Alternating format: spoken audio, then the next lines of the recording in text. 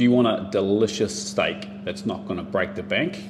Try skirt steak. So this is ebony black Angus skirt, a stunning piece of meat that gets underutilized a lot. There's three types of skirt. you've got the thin skirt, a thick skirt, and goose skirt. The last two are also called bavette. Um, you're not going to find this in the supermarket. To have to go to your butcher to get it, but it's definitely worthwhile looking for. Uh, it won't break the bank. It's full of flavour and it's absolutely delicious perfect for flash frying, for stews, for slow cooking, for sous vide, uh, lots of different applications. So next time you're in your butcher, look out for skirt steak. Uh, any of the three will do. The last two, uh, the thick skirt and the goose skirt, are probably better for steaks.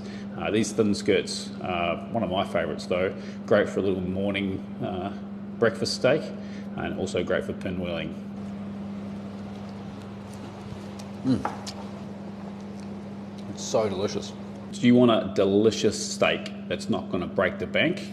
Try skirt steak. So this is ebony black Angus skirt, a stunning piece of meat that gets underutilized a lot. There's three types of skirt. you've got the thin skirt, a thick skirt, and goose skirt. The last two are also called bavette. Um, you're not going to find this in the supermarket. You're going to have to go to your butcher to get it, but it's definitely worthwhile looking for.